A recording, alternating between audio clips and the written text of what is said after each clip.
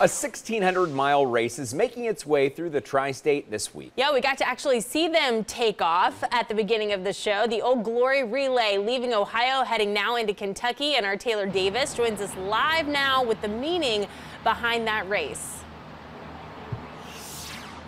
That's right. The first crew has already left, and the meeting is about one single flag that travels across six states. And today, like you said, they're going to Kentucky. Now, joining me here is John with the Red, White, and Blue organization, who's been doing this for 10 years now. Talk about the importance of today.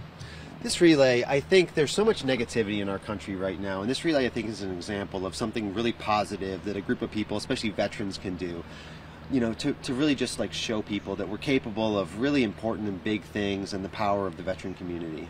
And talk about the process. Now they're out on the trail, the first crew. Talk about how they're going to transport that flag from one another. The way the relay works is every day there's a start point and end point. We have a leg captain who's in charge of picking the route and the safest way to get there and, and divvying it up with the different participants. So there's a series of people. They're gonna some will walk, some will run, some will cycle, and we got to get the flag to Carrollton, Kentucky, to the American Legion post there by the end of the day, and we got to do it safely.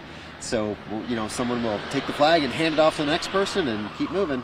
And then there's a party there's a party. There's always a party at the end of the day. It, this is hard, you know. Getting getting the flag from point A to B, point B is a lot of work, and we want to celebrate the participants at the end of the night. And how many people will be joining in today? We saw some of them leave. I think probably 20 or 30 people will be involved today in some form or fashion, getting the flag up there, and that's a pretty typical day for us. And then, what's your next stop? After Carrollton, we're going to head into Louisville, Kentucky. So we'll be there tonight. This we take no days off on this thing, so we'll start again at daylight tomorrow morning, and we'll get it into Louisville in Derby week. So got to get ready for that. Alrighty, a bunch of fun. Thank you so much, John. And like he said, the flag is going to continue to travel, and so many more people are going to continue to join in. Taylor Davis, Fox 19 Now.